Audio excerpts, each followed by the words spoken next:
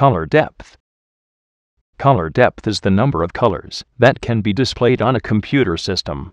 The color of each pixel is a number in binary, the computer's language. A memory size of 1 bit can store two values. In color terms, this translates as either black or white. However, a memory size of 8 bits can store 256 values, which means many more colors can be displayed. Continuing to increase the memory size continues increasing the number of colors that can be displayed. Most users today use a 24-bit color setting.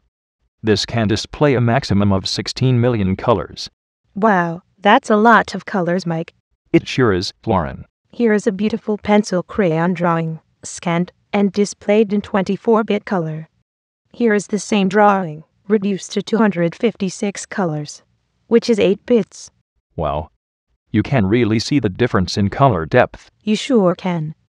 Now, here is the same drawing again, but this time reduced even further to 16 colors, which is a 4-bit color value.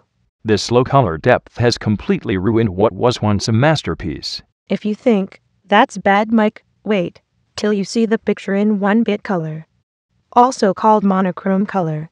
Lauren, I am shocked. I'm going to set my computer to the highest color depth possible so that more colors can be displayed.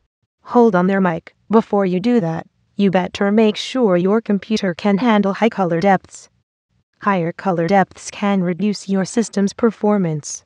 Well, Lauren, I don't think the high integrity of my performance can be questioned. That's not what your wife said to Well, me. that's all for this week. Tune in next week as we take a closer look at the fascinating world of file types. I'm Mike.